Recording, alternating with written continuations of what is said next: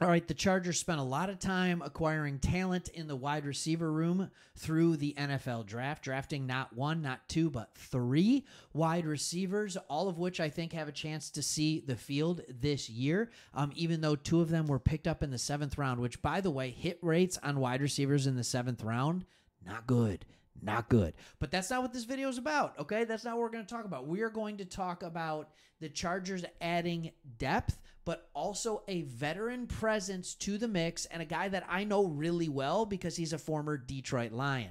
And speaking of former Detroit Lion, hey, we're Lions fans, but we love U of M too, and we love Harbaugh, so we followed him over to the West Coast. Man, this has been fun talking Chargers football with all of you. We hope to give you a non biased opinion on what your team is doing, and you're doing a lot of good things. I think we all know kind of this offseason with the Chargers. Harbaugh comes in, Roman comes in as OC. You get a new DC coming, you get a bunch of Michigan flair and stuff like that. You get Hortiz coming in as your new GM, and you're like, all right, what are they going to do?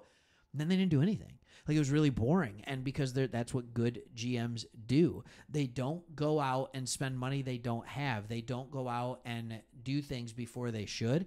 And now when you see their draft, all of a sudden you see like, oh yeah, this is a team that's going to build through the draft and then they're going to fill in holes via free agency. That's exactly what they're doing right here by adding DJ Chark. All right. And DJ Chark is a very interesting wide receiver. He was drafted and played for a little while with the Jacksonville Jaguars. And then injuries really started hampering him the last two to three years of his career. Now, when he's on the field, he is absolutely an effective wide receiver. Um, he is a good uh, player that will run. I mean, early on in Jacksonville, ran multiple routes, but the thing he does best, stretch the field. All right, that is who he is. So let's first look at some numbers. Let's look at his athletic profile, and then we'll go back and talk about what he'll be, what this article says he'll be to the Chargers, and what I think he will be to the Chargers. So the first thing we want to look at is I want to remind everyone he was drafted back in 2018 not that long ago. All right. He's still not old. All right. He's not old. So just relax. And he had a 9.94 uh, RAS. RAS, relative athletic score. In other words, he's one of the most athletic wide receivers based on size, weight, and skill to ever test. He is. That's what he is. So he was a sub 4 4 guy. All right, not even close. 434 back in 2018 was just insane. He doesn't look like a 434 guy. Part of that's because he's almost 6'3 and he's 200 pounds. And he probably doesn't run a 434 anymore. He probably runs a 454 or 445 is probably what he runs now. But if you can get him healthy, get him in that nice weather in LA, like get the body feeling good again, hey, maybe he does become a sub 4 4 guy again. But either way, he has more than enough speed to stretch the defense. That is what he is best at. And then when you look at him, um, when you look at him over the course of his career, you look at a guy that has consistently put up decent numbers, um, but also he's been a deep threat guy. So, like I said, when he was in Jacksonville, his first three years were a little unique. So, his rookie year, not much. And then all of a sudden, his second year went nuts. Had 114 targets, had 73 catches. Well, horrible quarterback. I think it was Blake Bortles, right? And um, went over a thousand yards, eight touchdowns. Um, couldn't quite replicate that the next year, but still had a good season. And then got hurt he got hurt in 2021. Then he goes over to Detroit, and Detroit basically just uses him as a deep threat. Like that's what that's what he is. And by the way, Jared Goff is quarterback, great quarterback. Uh, not one of those guys that's just like, oh, I'm just gonna chuck it deep. All right, Jared Goff likes to throw to receivers that get separation.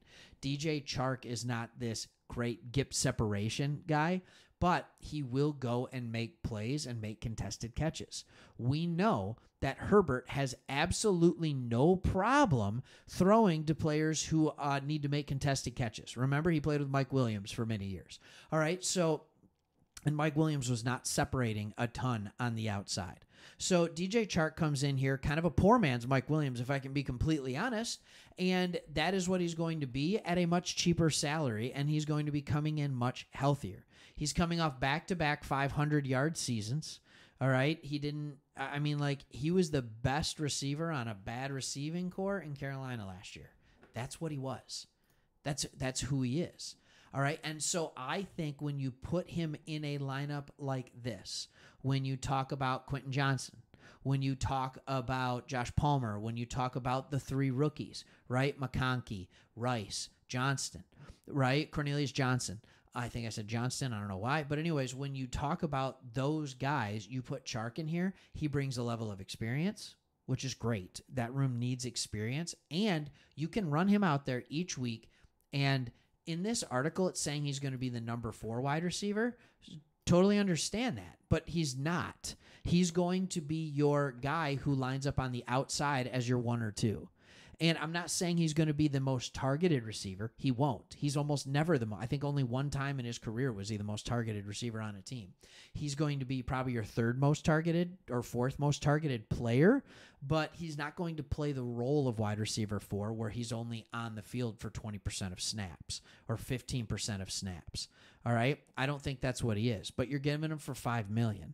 And he's a guy who's still just 27 years old he still has the ability to show that he can do more.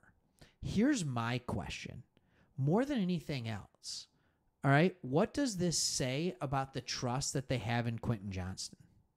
Like, that's kind of where my thought process went to this. Like, this is the role he's supposed to be able to play.